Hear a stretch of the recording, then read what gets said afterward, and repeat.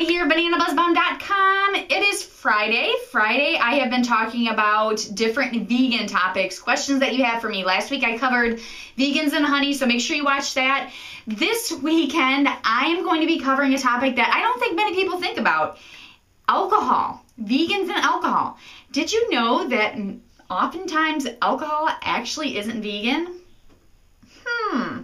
Actually, I can't say that it's not the alcohol that's not vegan. It's actually things that are in the alcohol in certain products that make it non-vegan. Like, um, yeah, fish bladders.